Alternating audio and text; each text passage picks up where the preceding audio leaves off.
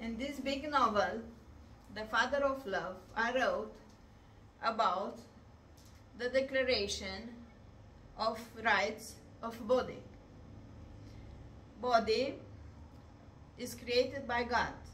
Our body is like a temple of Holy Spirit because we receive this Holy Spirit uh, when we are baptized. It's not possible, it's not permissible to consume the substance that your mind is broken and your body is so ill and in this way you cannot be consciousness and you cannot pray and you cannot think.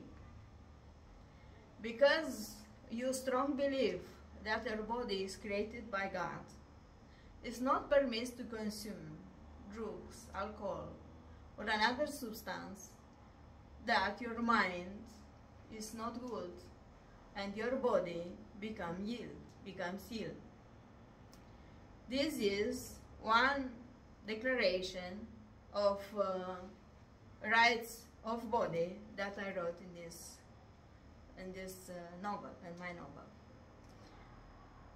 If you strong believe in yourself and in your in your God, you just fight with a lot of temptations that can destroy your body because your body is like a temple. Just fight and don't permit yourself that your body to be destroyed with diabolic substance that are in our time because it's so dangerous. It's so diabolic.